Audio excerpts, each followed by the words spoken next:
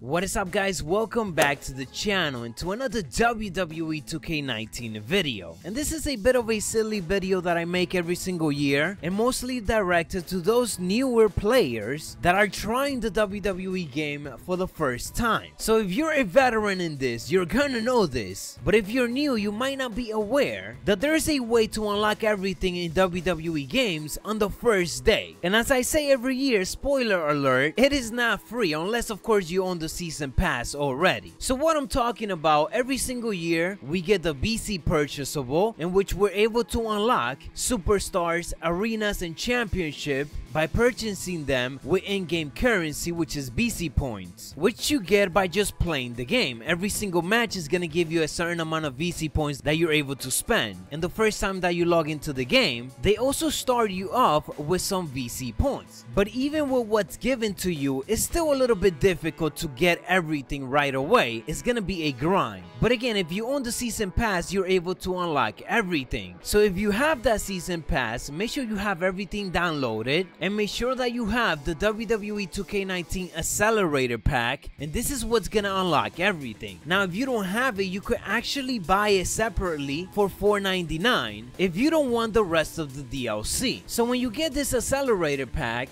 besides gaining access to all of the unlockable content from the VC purchasable section, you're also able to decide the overall ranking and attribute levels of a superstar so you can mess around with that and change it if you want to. Nonetheless, once this pack is downloaded, you might have to reset your game, get back on it, go to the VC purchasable store, and once you're there, in the bottom left, it's gonna give you the option to unlock everything. Click it and you're good to go. It will unlock all of the superstars, the arena, and the championship that are part of the VC purchasables in this year's game. Do keep in mind that this does not unlock the DLC roster because that comes in separate DLC packs and it is different than this. But overall, the good thing about this is that now that you have everything unlocked, all of the VC points that you get to earn, you're gonna be able to just use it in my player and you're not gonna have to waste it in anything else. Anyways guys, that is what I got for you on this video. If you are new to the channel, make sure to subscribe and turn on those notifications for much more tutorials such as this one.